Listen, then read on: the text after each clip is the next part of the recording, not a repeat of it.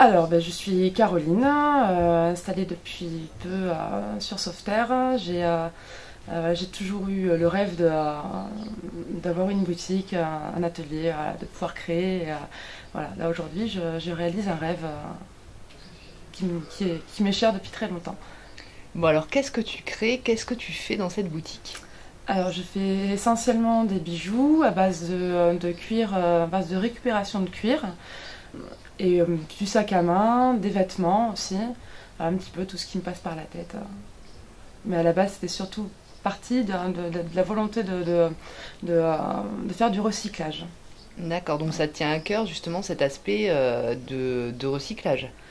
Mais euh, oui, parce que je, je pense qu'un qu'un animal ne doit pas mourir pour rien et, euh, et qu'il faut pouvoir euh, utiliser, euh, vu que voilà, on l'a sacrifié. Je pense que c'est important d'utiliser le maximum de, ce qui vient de lui, et c'est venu de, de, de, cette volonté-là.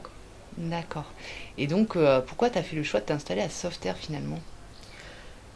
Parce que c'est un village qui me semble dynamique hein, et, et j'ai envie de participer à, la vie de ce village.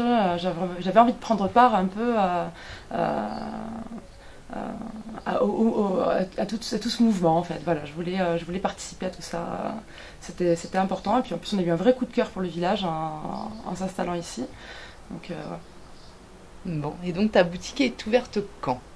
Alors ma boutique euh, pour la, saison est ouverte tous les jours sauf le lundi. Voilà.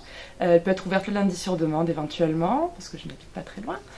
Euh, et après, hors saison, je serai là, étant donné que ça va être mon lieu de travail, euh, c'est mon atelier, donc je serai là tout le temps aussi, en semaine. Donc ce sera pas rare si les gens rentrent dans ta boutique de te voir travailler en fait le cuir. Ce sera même mon quotidien.